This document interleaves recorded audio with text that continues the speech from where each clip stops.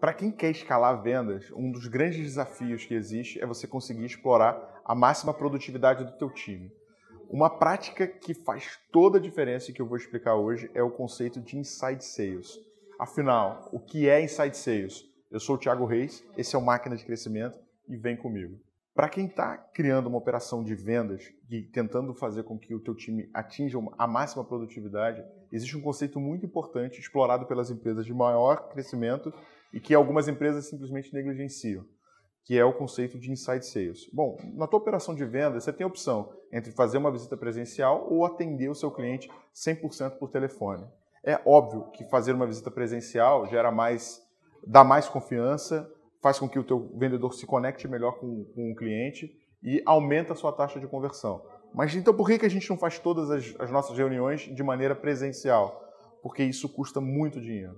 Custa dinheiro de deslocamento, faz com que o teu time de vendas consiga atender menos clientes, faz com que você precise é, ter, uma, ter uma estrutura maior para conseguir atender um alto volume de oportunidades e no final isso compromete seriamente a sua capacidade de escala.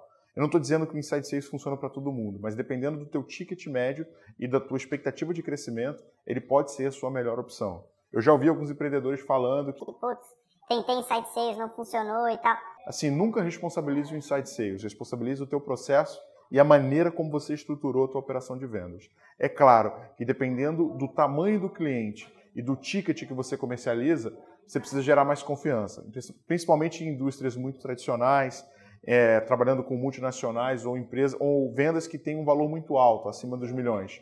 Mas eu já fechei grandes projetos sem nenhuma reunião presencial. Aqui atrás de mim está o meu time, está a minha operação de Inside Sales. Hoje a gente vende praticamente um milhão de reais por mês sem nenhum tipo de visita presencial. Tudo por telefone, fazendo interações virtualmente e conseguindo tirar todas as objeções, principalmente relacionadas à insegurança.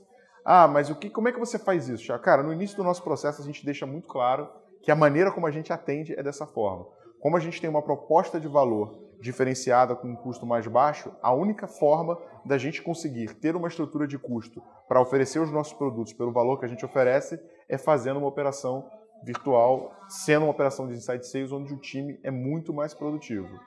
Se você ainda não começou a fazer inside sales, isso é um conselho que eu te dou. Você acha muito conteúdo na internet. Se você tem alguma dúvida sobre como estruturar inside sales, manda seu comentário, manda sua dúvida. Eu vou adorar discutir isso contigo e quem sabe até produzir um vídeo especificamente sobre isso.